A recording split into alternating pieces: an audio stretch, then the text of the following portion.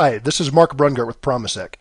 In this session, I'd like to introduce you to our agentless asset inventory module, which is available as an add-on capability within our INNERspace application. In these economic times, knowing what you own becomes a strategic task.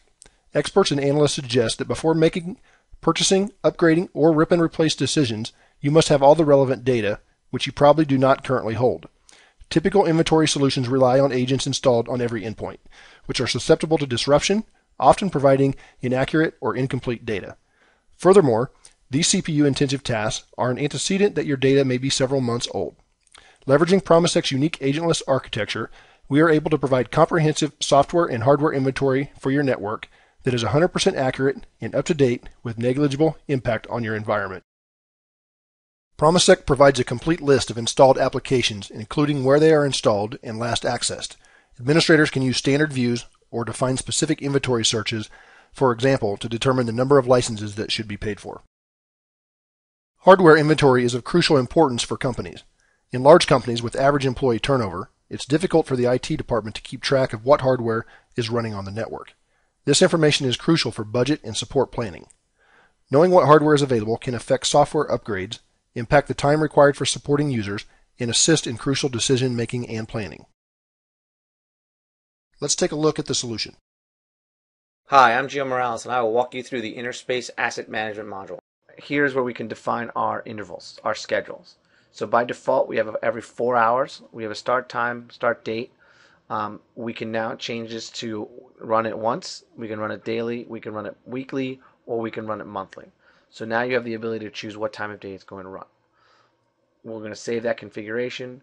Once we hit apply, it'll ask for the name or it'll save the current configuration with the existing name unless you want to rename it. I opened up the INNERspace console. Within the INNERspace console, there's the inventory module. It looks like a cardboard box in the menu bar. I have that open. I just want to spend a few minutes in this video going over the different components of the inventory module. In our overview, we give you a list of the total number of hosts we were able to in inspect, we break it down by workstations and servers. So you can see here we have a total of 10, but four workstations, four servers. The complete number of hardware components we've discovered from those 10, complete number of applications, and then we have the ability to generate reports. If I click on our host tab, what we'll do is get a complete list of all the different hosts that have been inspected. What will be included will be the domain name, IP address, MAC address, along with the host name and operating system.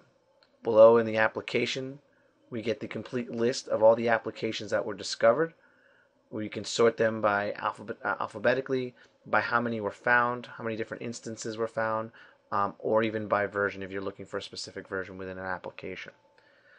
Same can be done also for hardware. So as you see, we do a mass collection of all these uh, endpoints, hardware and applications without any specific uh, configurations looking for specific components we don't use WMI, so we're very light on the network, and we're able to gather this information anywhere from 5 to 15 seconds from each endpoint, uh, not including the latency of the time it takes from, from the endpoint on a WAN link back. A couple of different ways that we can define our target audience. One is through domain, so it will automatically pull the, the, the domain that the server is a part of, or any other domains that it sees. Let's go with our local domain. We can pull out a specific OU uh, based on either the credentials that the server has or if you have remote sentries with different credentials on different domains, it will pull the OU from those remote sentries. Uh, for the purposes of our demonstration, we're actually just going to pull in the entire New York City lab um, as, our, as our domain that we're going to import. And you see that here as a domain kind of LDAP query for that. We can also do it through IP addresses, through CIDR blocks, or I can even input specific host names or specific IP ranges. That's the target audience that we're going to do a complete inventory on. What I want to focus on right now is the ability that Promisec has to do uh, last application and also track the number of instances of an application have been deployed versus how many have been purchased. As you can see here, I've sorted the inventory, uh, excuse me, the application inventory by the number of purchased licensed. We have we have purchased eight licenses for VMware tools. You can see that we have nine actually deployed out there. So we can actually drill down into that and find out which applic which servers or workstations have that, and then be able to uh, uh, create a job either using SMS or SCCM or some third third party tool to eliminate or uninstall or have a help desk person or a customer uh, client services person go out there directly and remove that software for them. For other applications, we can see where we're missing deployments. So let me sort that again by purchase license. And we can see that we bought five licenses of Microsoft Office and uh, five licenses of Adobe Reader, but we haven't deployed that completely. So again, we will be able to get a list of which workstations have that, compare that to our domain or through our uh, current workstation list, and be able to deploy it uh, to what app, what systems are missing those applications.